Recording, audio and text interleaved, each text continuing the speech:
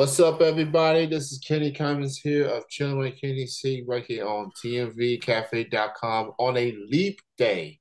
Once every four years, a day like this usually happens. So that's pretty cool. So joining me, you know, representing that real hip hop, representing that West Coast, um, talented MC doing his thing.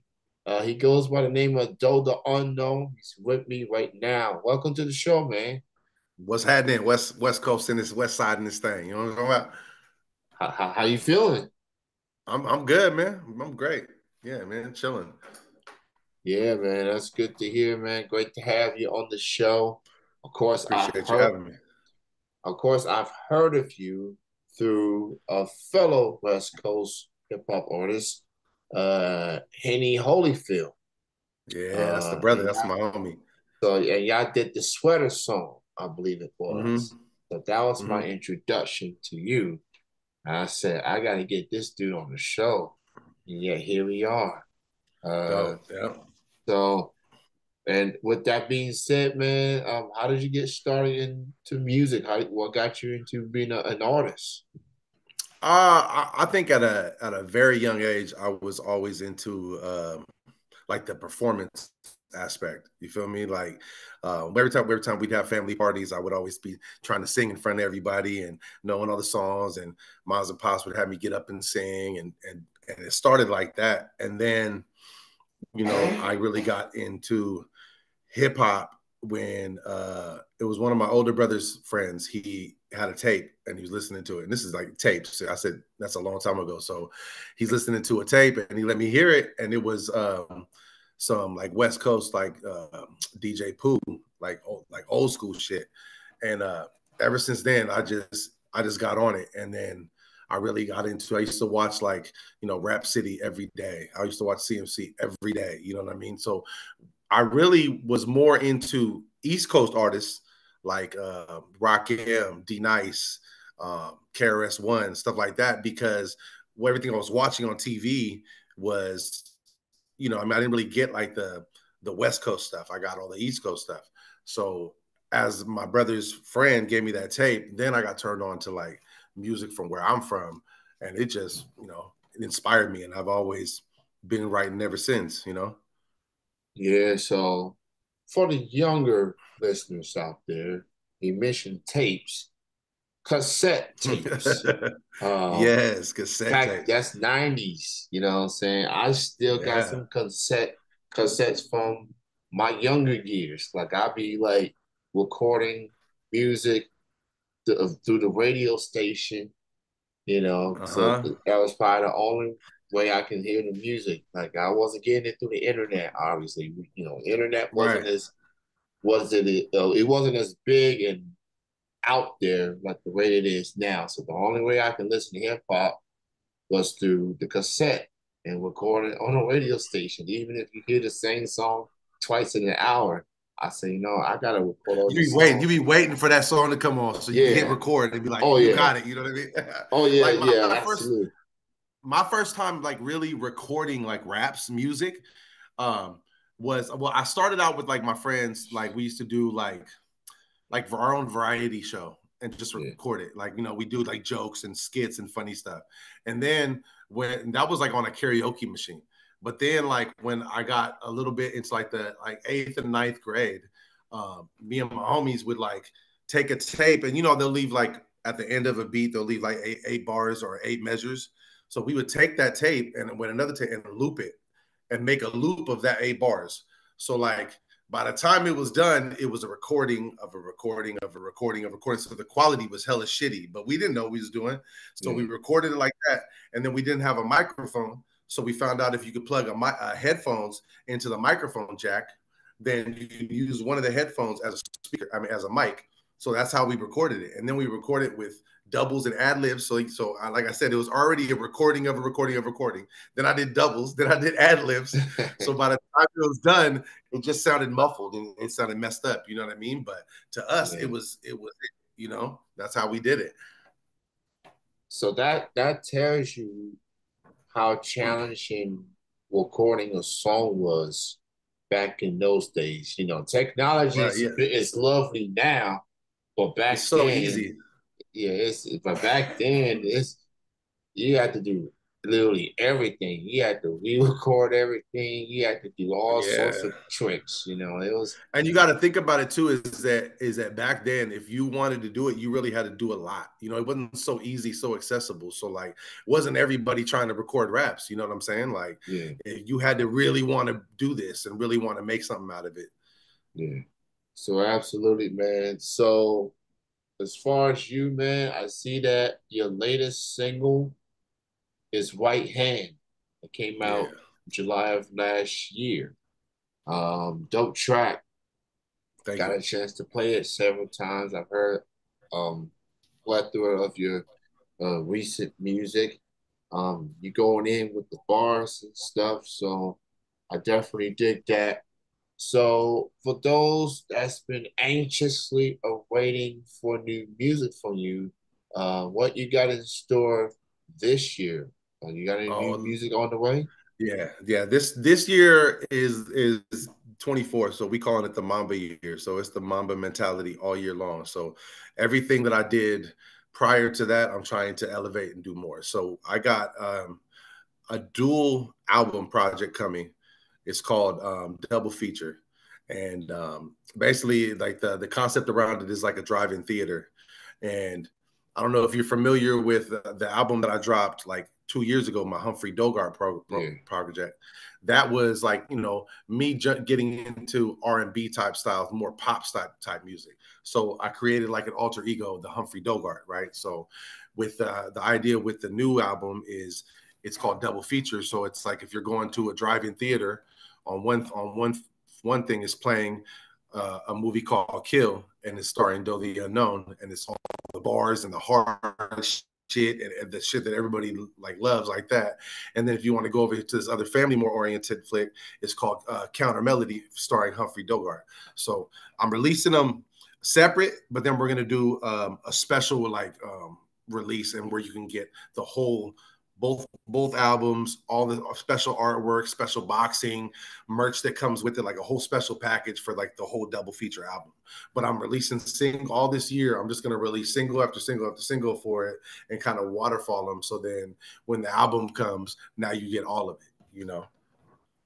That's dope. That's definitely a good approach, especially, you know, coming into this year fully focused and ready to put out a lot of um, material there. So you mentioned the Humphrey Dogart project, very unique experience, you know, with the musical styles and everything. What was that like working on Humphrey Dogart? What was it like working on that project? Um, um, if I'm being honest, like I feel like that is my most well together, put well put together project ever. Um, from the song quality to the um, the conscious uh, community um, talk, I'm talking about issues, real issues. Um, just the way the whole thing came together is, I just I've always really been into R and B. Like I said, I used to sing at my my family events and stuff. And I'll tell everybody like I'm platinum in the shower. Like in the shower, I got like 17 platinum albums. You know what I'm saying? I be in the Huyas and everything when I'm in the shower. But I've always loved it, so I wanted to try something different. I think as an artist, if you don't push yourself to do other things, and as I'm getting older, I'm trying to remarket myself, rebrand myself. I can't really rap about the same things, so I wanted to try something different. And um, I went into, into it, and I, what's unique about that project is I recorded the whole thing during COVID.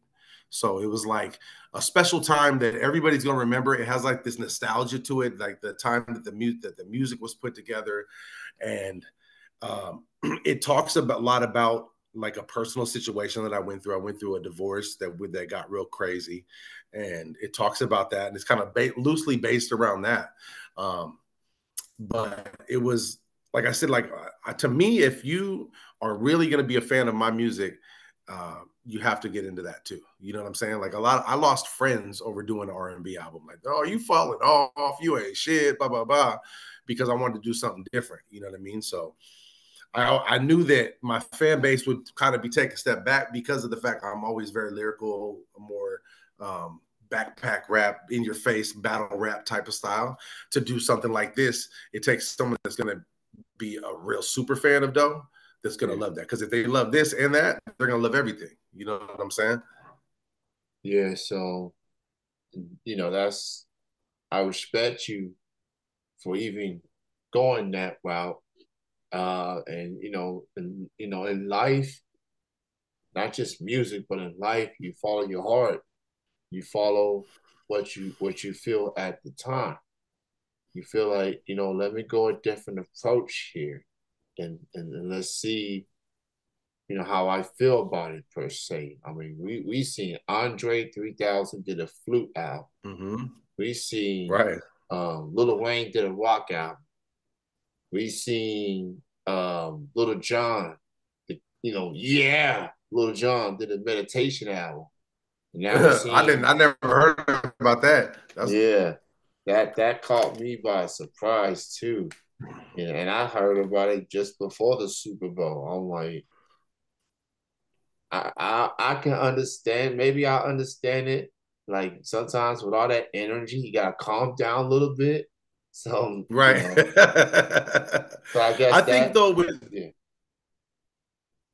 I think though as being an artist, in order to I don't say be great or to in order to do something that nobody's ever done, you got to try some shit you're uncomfortable with. Yeah. You gotta you gotta kind of go out on a limb sometimes. And if you just play it safe the whole time, it's like you're gonna get caught in that mold of what everybody thinks that genre of music is or what you're supposed to be. And I I don't look at myself as like a rapper. I'm an artist. Like I'll, I'll make I got a country song. You know what I'm saying? Like I'll make a like it, it depends on how the music made me feel excuse me, depends on how the music made me feel.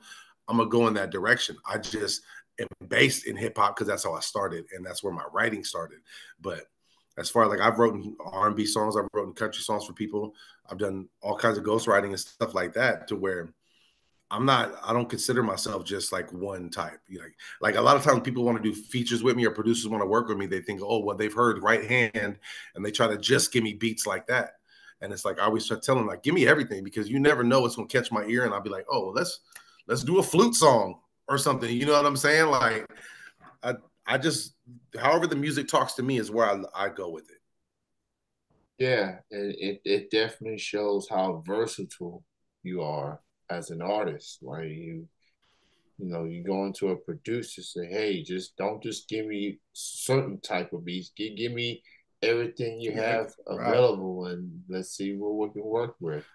And a lot of uh, times it'll be a beat that they didn't think I'd like that I love. You know what I mean? So yeah, it usually be like that sometimes. It mm-hmm. usually be that one beat that people like, oh, I don't know about it. Then you listen to it. It's almost like, like, the producer the, hates it. You know what I mean? It's like, yeah. oh man, I made that shit. I was drunk. I said, that's a slap. Let me get that. You know what I mean? Like, So yeah, uh, sometimes I feel like every producer they got that one beat that they think nobody's gonna touch, and then somebody right. ends up with it. So, uh, well, I mean, like case in point, you you brought up the ugly sweater song. Yeah. Like that's a that's a perfect example where me and him were talking about the Mariah Carey money that comes every Christmas. Like, yeah. how do we tap into that? You know what I'm saying? Like, and then we made that song. So it's like I don't want to be limited by a certain style or genre. I just I just want to make art, you know. That's all it is. Well said, man. Be on the lookout for those upcoming double feature project is coming. It's Hell gonna yeah. give you he's gonna give you um half spitting bars. He's gonna give you some singing, some R and B type tunes. So he's gonna give you everything with this project. Yeah. So he's coming. You know, he and me and and you speak you spoke of Henny, myself yeah. and Henny Holyfield. We have a um, a podcast called Top Shelf Radio, and we're uh, currently filming right now, and we're gonna start dropping episodes in April. And it's like a radio show meets the Tonight Show. So we have like comedy sketches, SNL type stuff, along with playing music and you know tapping in with our fan base. That's dope, man. So speaking of Henny, you know, obviously like you're an independent artist. You know, you you putting you doing all this on your own, doing the music the way you want to, things of that nature, networking with people. um, linking up with different artists. and Holyfield, I know him online for a couple years now. He's very, very talented dude. Um, was it you know as an independent artist, it's good to have some like um similar minded artists. You know, different you know different approach, which is similar interest per se. So you know, y'all doing this podcast together, for example, SNL sketches, uh, a variety of stuff. So was it like you know, linking up with a guy like like Henny Holyfield, whether it's music, whether it's podcasting, what's it like uh chopping up with him? I mean that that dude's my brother, man. Like we we have such a a, a connection, a bond that like uh, we're we're we're to on the road to this shit. Like um, he uh, like I'm originally from Fairfield, California, which is I would say like 45 minutes um, east of Sacramento, right? And it's it's like right in the middle of San Francisco and Sacramento, 45 minutes each way. So where I came from, I had an influence of like Bay Area artists, and I also had an influence of Sac, but I've always graduated more towards Sacramento artists. Um, Brotha Lynch Hung was one of my favorite artists. C-Bo was one of my favorite artists. So my presence in Sacramento would not be anything un- until I met Henny Holyfield. So I met him, and he started putting me on shows in Sacramento. So then, just from that, we started getting to know each other. Then we did a couple songs together. Then we started. Then the, the I, I've known him. I'm I'm saying probably 13 to 15 years, and you know he's always been super solid. So it's easy to work with him. So me and him, we do we had the podcast this last summer. We just planned our own um, independent tour called the West Coast Love Tour. Uh, we did that, and we went from uh, Vancouver all the way down to LA, or the whole West Coast. Um, with a bunch of other dope artists that came with us. Um, Scourge, KO, a, uh, AT, my brother Highway.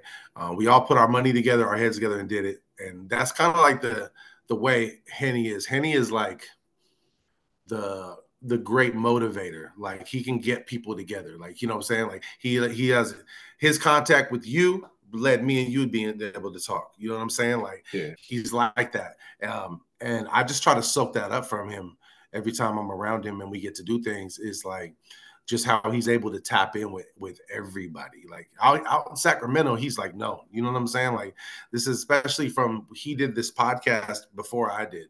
I didn't come along to the end of it, and then we had to kind of change our situation. Now we're starting to get brand new again, but it's just him and I. But working with dude is like phenomenal because he's like like like like I am. He's versatile. Like he has that. He just dropped a single called "Go Grandma."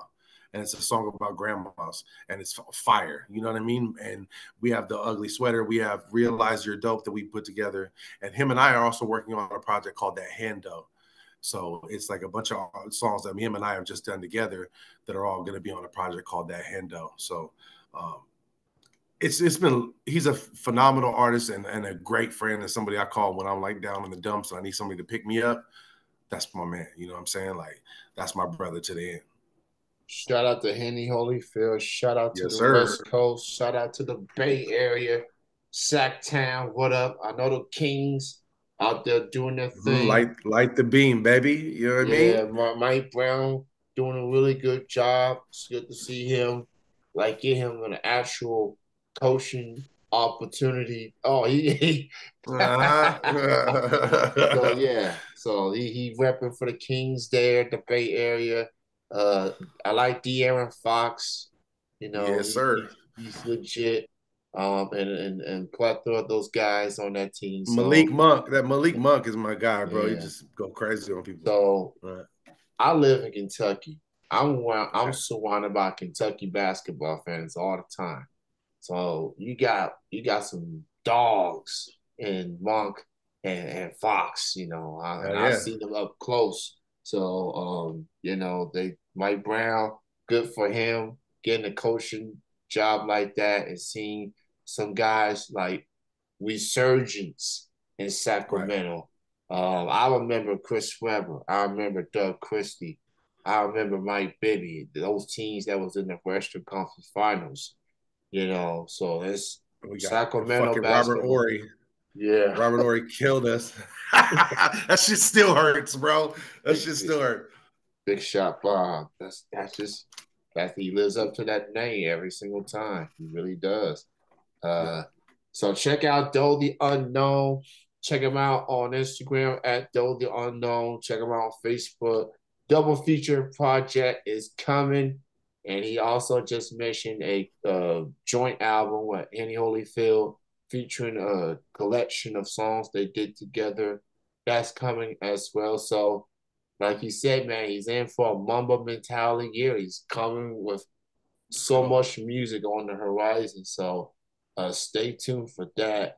It's great to chat with you, though, on, on the show. And uh, thank you so much for your time. And uh, I'm looking forward to double feature, man. It's gonna be an incredible yeah. project. I appreciate you, man. I appreciate uh, you know, you're giving me the opportunity to be on your platform platform and let people know about me and my music out in Kentucky. You know what I'm saying? Well, let let me know when we come out and do some shows, bro. Let's yeah. let's let's network. Let's get it moving. You know what I mean? Yeah, absolutely, man. Um, we, we we got a solid um hip hop scene in uh, Kentucky, you know, and I'm not just talking Jack Harlow and ESTG. We got some solid local artists that's really on the Let's grind. Go, man. Let's work thing. something out. Yeah, I'll, I'll, I'll, definitely get in touch with my friends and see, see what we can do with that. Um, oh, yeah. You take care, man. You enjoy your night. Enjoy the rest of your weekend, man. Thanks again. Thank you, brother. I appreciate you. All right. You have a good night. Yep. All right.